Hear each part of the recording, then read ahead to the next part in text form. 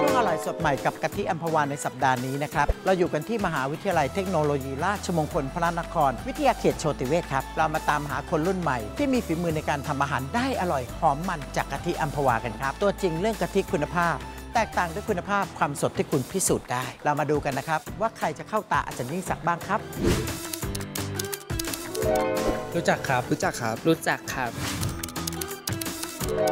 ก๋วยเตี๋ยวเรือน้ำตกครับ ขนมตาลครับบะหมี่ต้มยำกะทิหมูแดงครับเอาล่ะคุณผู้ชมตอนนี้มาอยู่กับคนรุ่นใหม่ ที่จะมาแสดงฝีมือในการทำอาหารกันแล้วนะ ชื่ออะไรครับลูกปุญญพัฒน์รังสีวงศ์นักศึกษาชั้นปีที่ 2 ครับ ถ้าอาจารย์พูดถึงกะทิน้องจะคิดถึงเมนูอะไรลูก เมนูบะหมี่ต้มยำกะทิหมูแดงครับทำไมถึงต้องเป็นเมนูนี้ล่ะเพราะเป็นเมนูที่ทำง่ายครับเรายิ่งใส่อัมพวากะทิแท้ร้อยเปอร์เซ็นต์ลงไปนอกจากเพิ่มความอร่อยแล้ว ยังได้ความมันที่พอดีครับรสชาติอร่อยไม่ซ้ำใครครับ รสชาติอร่อย ไม่ซ้ำใครเลย และตอนนี้อัมพวากะทิแท้ร้อยเปอร์เซ็นต์ก็มีแบบกล่องคริสต์มามาให้เลือกใช้ เพื่อตอบรับกระแสรักโลกด้วยนะคุณผู้ชม แต่ทั้งขวดและกล่องรสชาติเหมือนกันไม่แตกต่างกันเลย เออ จะได้ชิมหรือยังอะ งั้นเรามาเริ่มทำเลยดีกว่า ดีจ้ะโอเคทำไงก่อนครับขั้นแรกเราใส่น้ำครับ ใส่น้ำก่อน แล้วก็ต้มจนเดือดครับ ต้มน้ำจนเดือดหลังจากนั้นเราก็ใส่น้ำพริกเผาครับ น้ำพริกเผาสำหรับต้มยำใช่ไหมครับ ไม่ใช่แบบทานขนมปังหลังจากนั้นเราก็คนให้ละลายครับคนให้ละลายโอ้ยแค่ใส่น้ำพริกเผาลงไปก็หอมนะ ความเป็นต้มยำก็มาครึ่งหนึ่งแล้วนะคุณผู้ชม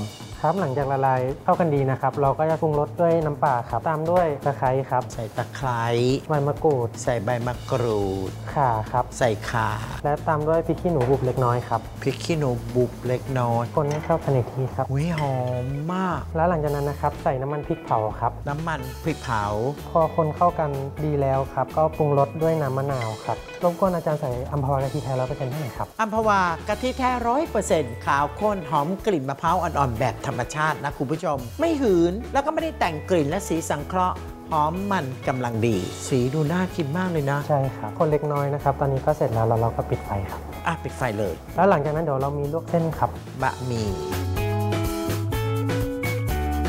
หลังจากนั้นพอเส้นเริ่มใสครับใส่ถั่วงอกตามอ๋อลงพไปอคเส้รับนเริ่มจะสุกใสๆเราก็ใส่ถั่วงอก พอทุกอย่างสุกครับเราก็ใส่ในถ้วยได้เลยครับ อืม เรียบร้อยละหลังจากนั้นลวกหมี่แล้วทำไงต่อลวกหมีแล้วครับ ก็ใส่หมูแดงครับ เป็นหมูแดง จะเป็นหมูต้มก็ได้ใช่ปะใช่ครับ ได้หมดทุกอย่างเลยครับครับ หลังจากนั้นก็ใส่ไส้กรอกอ๋อมีไส้กรอกด้วย อันนี้ถ้าเป็นไส้กรอกชีสก็ได้ใช่ปะใช่ครับโอ้ครับแล้วเราก็ใส่น้ำได้เลยครับ นี่ก็คือน้ำที่เราต้มไว้เป็นต้มยำเมื่อครู่นี้โอ้ย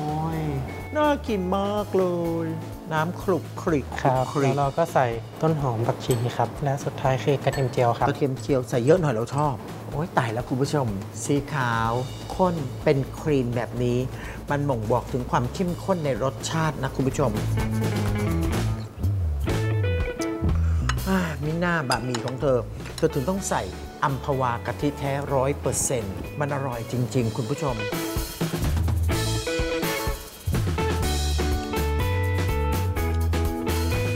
เส้นดูนุ่ม แล้วก็หอมอร่อยยิ่งขึ้นจริง ๆ ด้วยคุณผู้ชม อร่อยขนาดนี้คุณผู้ชมลองสิครับอัมพวากะทิแท้ร้อยเปอร์เซ็นต์ ขาวข้นหอมมันคล้ายกะทิคั้นสดนะครับ ไม่ขาวเวอร์หอมกลิ่นมะพร้าวอ่อนๆ แบบเป็นธรรมชาติ ใหม่อัมพวากะทิแบบกล่อง มีให้เลือกใช้ทั้งกะทิแท้ร้อยเปอร์เซ็นต์และกะทิอบควันเทียนนะครับสำหรับคนรักโลก ใช้สะดวกคุณภาพเหมือนกันทั้งขวดและกล่อง สัปดาห์หน้านะครับ อร่อยสดใหม่กับกะทิอัมพวาจะเป็นเมนูจากน้องๆคนไหนคุณผู้ชมห้ามพลาดนะ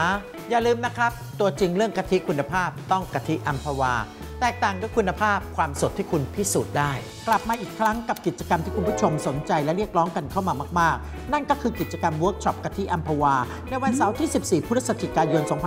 2563 รับรองว่าไม่ผิดหวังแน่นอน เรามีทั้งสูตรอร่อยจากกะทิอัมพวา และเวิร์กช็อปอย่างใกล้ชิดโดยคณะอาจารย์ผู้เชี่ยวชาญด้านอาหารอย่างแท้จริง ผู้ที่สนใจเข้าร่วม สามารถสมัครและดูรายละเอียดเพิ่มเติมได้ที่ Facebook Fanpage อาจารย์ยิ่งศักดิ์